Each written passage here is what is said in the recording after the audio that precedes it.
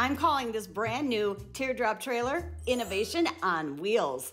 In this video, we're gonna tour the Little Guy Shadow so you can see the unique features this teardrop trailer has that adds comfort and functionality into this compact space. This trailer is made by Xtreme Outdoors, the same company that makes the Little Guy Max, the teardrop trailer I've owned for the past five years. So I think I have a special insider point of view on this new teardrop trailer. Let's first start with a quick walk around of the outside because there are a couple of things I want to point out. And next we'll look at the outdoor kitchen or the galley. Then we'll head inside where in my opinion is the most innovative design transformation. Okay, it has an outdoor shower which this has come in really handy. There's also a TV rack so you can take the TV from inside and place it on this rack and watch TV outside. My little guy Max also has this and gosh in over five years, I've never used it once. Let me know if you think this is something that you'd use. The door stopper that came on my trailer and never worked. So years ago, I replaced it with this same magnetic door stopper. It's been perfect for catching and holding the door, especially on windy days. These diamond plated fenders look really sharp, but they're perfect for accessing the rooftop rack. So you can bring along kayaks or electric bikes with you. The last thing on the exterior that I wanted to point out is the diamond plated storage box for the propane tank and the battery. Mine came with a plastic one, so this is a really nice upgrade.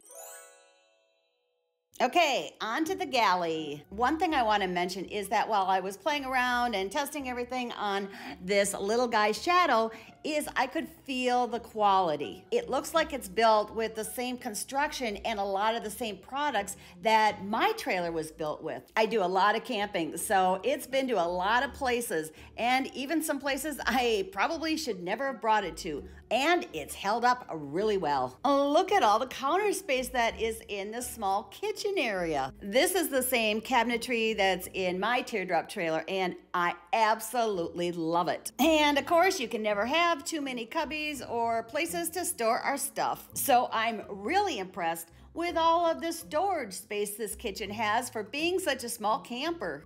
These are deep drawers, so you can store a lot of kitchen supplies in here. And to keep your food cold, it comes with a 40 quart ice chest cooler. Okay, now let's check out the interior of the little guy shadow.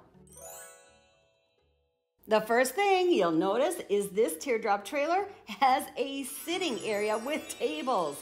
This is unique for teardrops this size because most just offer a bed or sleeping area. And for more functionality, there are two tables and they swivel. I think this is innovative because I often wondered if it would be awkward or uncomfortable to eat, play a game of cards, or do some work if there was only a bed area. Okay, let's go on inside so I can show you more features and then I'll show you how to convert the sitting, dinette, and couch space into a bed. The first thing I wanted to point out is I'm five feet two inches and I still have some space here above my head to sit comfortably. If you've watched some of my other small camper tour videos, you know that I believe windows are a small camper's best friend. They make tiny spaces feel more spacious so you don't have that closed in feeling. These are the same dual pane windows that are in my little guy Max and I love them. They do a really good job at keeping the cold and the heat out. Plus, people walking by can't see inside unless you have lights on.